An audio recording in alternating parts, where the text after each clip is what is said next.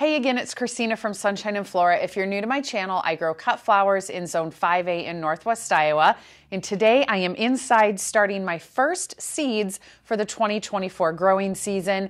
Some of you are probably thinking, whoa, that is super early. It is still 2023. Technically, yes, uh, we're in the second week of December, but the seeds that I am starting today are Lisianthus, and if you have grown them before, you know that they grow so slow. Usually I start my Lisianthus in January. However, these Lisianthus, I have three different varieties. These are going to be going in the hoop house, which I can plant out in much earlier than I can outside in the regular garden. So in this video, I wanna share with you the three varieties that I'm starting today, my whole process for starting them using a soil blocker, and then I wanna walk you guys out to the hoop house and show you what is growing in there right now uh, because I have some things wintering over and I honestly haven't checked on them in a week or so. We've had some really cold temps, so I'm anxious myself to see how it's going, so I'm gonna take you guys out there too. So first of all, I have three varieties of Lisianthus. These came from Geo Seeds. Geo Seed uh, has wholesale prices, but I don't believe you actually have to have a tax ID number to order from them. And they have about every single variety of flower that you could ever dream of starting. So make sure to check them out. I'm not sponsored by them or anything. I just really love to order seeds from them. The three varieties that I am starting are the ABC White 1. So uh, Lisianthus are labeled one, two, three, or 4, and that is based on their bloom time. So 1 are the earliest, 4 are the latest. So the ABC White is a 1. I have the ABC Deep Rose, also a 1. And then I have the Arena Apricot, which is a three. So, in theory, these two should bloom first about at the same time, and then I will get these two to bloom so that I have uh, different bloom times and extend my harvest for the Lisianthus. Um, now I'm going to be opening these up in a second, but uh, Lisianthus a lot of times will come pelleted. I don't think I've ever ordered any that were not pelleted. Um, I'll show you what they look like, but pelleted seeds they say you should use within a year um, or that growing season of buying them. So um, if I don't use all of these seeds today in my trays with my soil blocks, I will be using them yet this growing season in another planting. So I have in a little container here, I have my soil. I'll put a uh, picture up on the screen of the container. This is a ProMix BX. I'm going to be wetting this down thoroughly to make my soil blocks. Um, this is my soil blocker. I will link this down below. I got this off Amazon. This is one of the mini soil blockers, and so I get 20 little soil blocks um, from one little um, pump of this, if that's what you call it. And then I'm going to be starting these in meat trays. And so I just save these from when I get meat from the grocery store. I see a lot of different gardeners use this. They have nice sides and are really lightweight. And so I should be able to fit um, I think two of these, so 40 little soil blocks in each tray.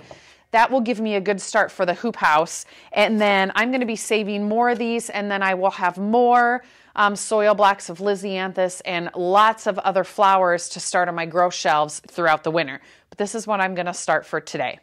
So the first thing I need to do is I need to wet down the soil because it is so dry, like I can literally see the dust. Um, pluming up from it. And that is really normal. I buy this in a block, and so it's a compacted block. And so you get um, more per package than if you would just buy a bag of the loose soil. And so it's really dry. So I'm going to start off. And this is going to take a little bit to absorb the water. But basically, I'm just going to kind of mix it around. And when you make soil blocks, I think that you want um, the soil a lot wetter. Ooh, yeah, the dust is flying up. Um, you want the soil a lot um, wetter than if you were just putting it in a seed tray because you're going to really pack it in, which I'll show you, to the soil blocker because you want it to stay in there and you want the soil blocks to stay together for your seeds. Couple of the benefits of using a soil block, you can fit a lot more seedlings in a small space, so you can start a lot more at the same time. Um, the soil blocker, how they grow, also gives air movement to um, the plants and the roots, and so it really helps give you a strong root system for your new little plants. And with these mini soil blocks, um, a lot of times once these seedlings get so big, you will need to pot them up into a larger seed tray, but then that promotes the roots to grow even more. And I have seen where seedlings get a lot larger when you pot them up versus leaving them in the little mini soil blocks. And so that will be my plan with these Lisianthus. Once they get so big, and I'll show you when that happens, I'm going to be potting them up into larger seed trays. But this is how I'm going to get started. So this is about the consistency right now that I would be using if I was putting in a seed tray, maybe even a little wetter. Usually I like to squeeze it and it's holding together, but no moisture drips out. This is dripping moisture, but I still think I need more for my soil blocker. So let me go grab a little bit more water. Okay. If I had to guess, I think that is going to do it.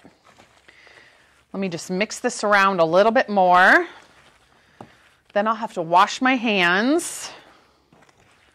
I don't really like to use gloves because I just feel like I can get things mixed a lot better if I don't have gloves on. Yeah, that is nice and wet. All right, time to rinse my hand off. So here's what my soil blocker looks like. And you can see on the bottom, each little square is going to hold one little soil block which will go out onto the seed tray and hold one little seedling. So what I do is I take the soil blocker and you want to get as much soil stuck into there as possible. Really press it down in. See how that's all in there? I could even use more in there.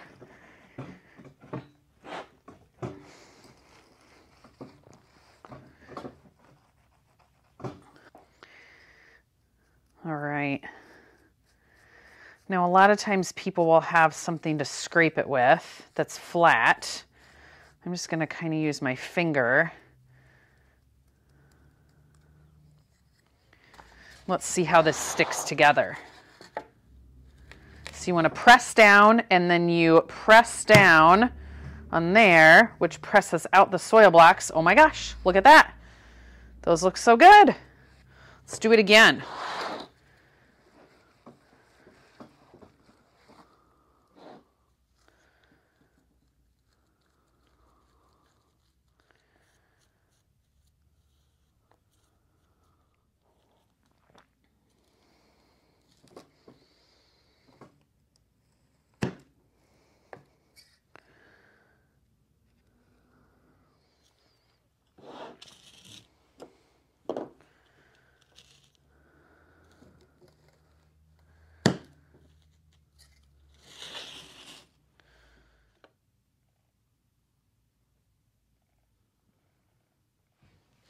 All right, so I have my three trays of soil blocks made. And when I go to water these, these trays really work nice because all I'm gonna do is I'm gonna pour water in around the soil blocks and the soil blocks will absorb the water that is sitting in this tray. And that's how I water them. It'll be super easy.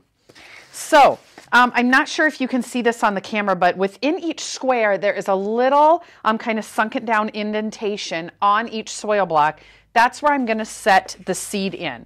And my Lisiantha seeds that are pelleted come in these vials. Pelleted seeds are really easy to plant because it makes them much bigger. Um, this is the Arena 3 apricot. So once I'm done putting these seeds in here, I'm going to need to label this because I never remember which tray is which. And I'm just simply going to drop one seed per soil block right in that indentation. It is so easy. Some people will use a toothpick, um, a moist toothpick to um, pick up the seed and then drop it on the soil block. I am never very good at that, so I just like to use my fingers. Now, with uh, seeds that are very small, like a snapdragon seed, sometimes that is really handy. Um, but with pelleted seeds like this, I just like to use my hand. Okay, so my extra seeds are going to go back into the vial and they'll get started probably in about a month, and that'll be my succession planting for these. I will probably do a whole video on succession planting this year for you guys um, with all the different varieties that I'm going to be succession planting. And if you're not familiar with that method, basically it's planting your seeds at different stages so that you get multiple harvests per variety. So Arena 3 apricot is done. I'm gonna grab some tape to mark this. So I just like to use plain masking tape to mark these and I'll put the tape on the side. So Arena apricot. Oh, I should put the date. 12 6.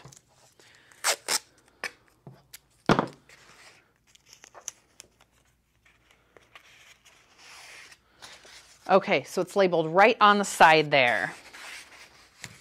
Time to do the next two.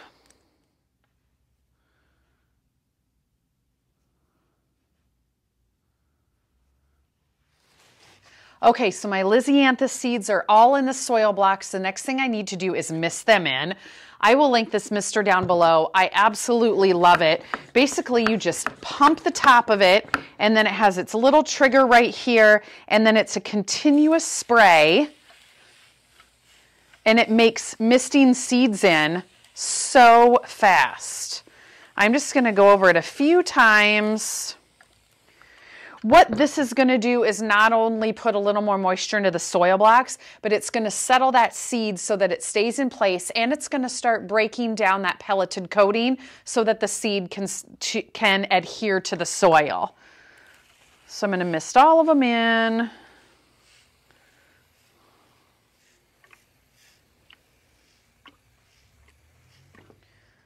All right, looking good. Now, Lisianthus seeds need light to germinate, so that means you don't want to fully cover them with soil. But the one thing that I do add to my Lisianthus is vermiculite, and this will help algae growth from developing on top of the soil. Lisianthus are in the soil blocks or their seed starting containers for so long, it's really common for algae to develop, and this will help um, to not let that happen. So this is just the Burpee Natural brand. I got this at my local garden store. In, this is the um, fine grade, so it's going to be really small. And what I'm going to do is I'm just going to sprinkle this over the top.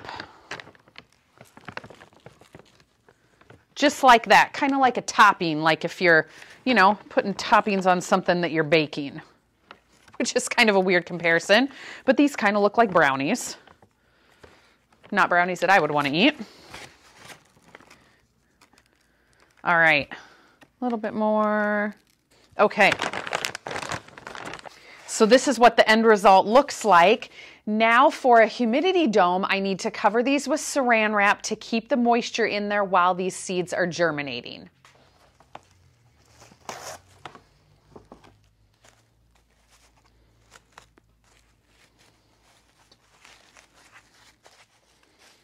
Okay, all three of my trays are ready. It's time to move them under the grow lights. So this is one of my grow light setups and it's a really easy and economical setup. I've done videos on it before. I will link those down below. But basically, this is a plastic shelving unit I got from a local home improvement store. I have a heat mat that I got from Amazon. I have, um, this is a 10 by 20 or a 20 by 20 size. I also have a lot of 10 by 10 or 10 by 20 sizes. And then these are shop lights. You don't need the really expensive grow lights to start your seeds. Shop lights are just fine. I find that the 4000 lumen shop lights work well for me. I have two per shelf and my heat mat is already plugged in, which I will leave on until the seeds germinate. Once I see germination, the heat mat goes away. And then basically, I just turn on my grow lights. Now, I will leave these on full time also until I see germination. once I see all of these Lisianthus seeds germinate, I'll take them off the heat mat. I will take the saran wrap off, keeping the soil block still moist, of course. And then these grow lights will go on a timer, which I also got these off Amazon. I will link these down below. Basically, it's 16 hours on and 8 hours off. So your plants get a break from that light just like they would outside. So these are really handy, but this does not get put on my light system until these germinate. So anyway, those are ready to go. Now I just wait to see what happens. Now, Lisianthus, of course, are slow growing. These could take a couple weeks to germinate.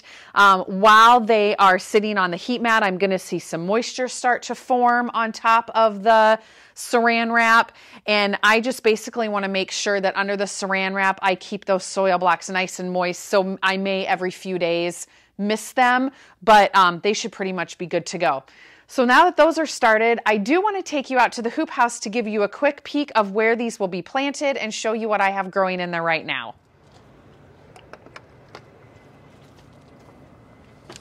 All right, here we are. So it's December here in Iowa. So out in the garden, there definitely isn't anything growing, but here in the hoop house, things are looking really green. So right over here, I have a patch of feverfew. This is going to winter over. Uh, right here, this is all ranunculus that I never dug up, and it's looking really good. I don't see any blooms. I don't know if it'll bloom or not, but I'm just going to leave them to see what happens. And then over here we have some stock that could pretty much be pulled out because it's not going to do anything. Um, in here are some campanula seedlings that I planted really, really late. However, if you zoom in, you can see that there is new green growth in the center. So I think they'll be just fine. I actually probably need to get out here and give these a good watering because it's unbelievably 60 degrees today. Then back in the corner, I have some more ranunculus that I'm just letting go to see if anything happens. But if we spin around, look at this patch of campanula. Do these not look absolutely amazing? This is all white campanula. These are going to winter over and give me a really early crop next year. I am so excited. This is what the other patch of campanula should have looked like, but I planted it really late. But these are just looking absolutely amazing. So the Lisianthus, when those get going and I plant them out, they will probably end up going in this area.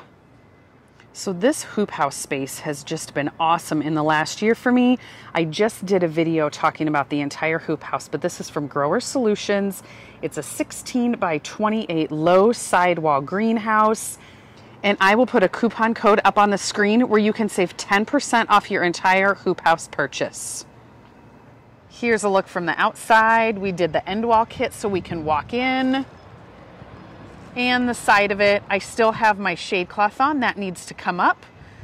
And I still need to put a little wiggle wire down on the sides here on the roll up sides just to tuck it in for winter. But I'm telling you, I could have about 10 of these and probably not have enough. Okay, so that's going to do it for this video. I hope you guys enjoyed seeing my first seed starting for the 2024 growing season. Uh, since these next couple days are in the 60s, I actually still have some daffodils to plant outside. So, which is super crazy for December that we're having this weather. But tomorrow I'm going to be planting more daffodil bulbs outside and probably some peonies. So I will make sure to film that for you guys. But um, I have a lot more to share throughout the winter as far as what I'm planting for next year, my full garden plans, and of course, building updates for the retail space. So anyway, stay tuned for a lot more. We'll see you soon.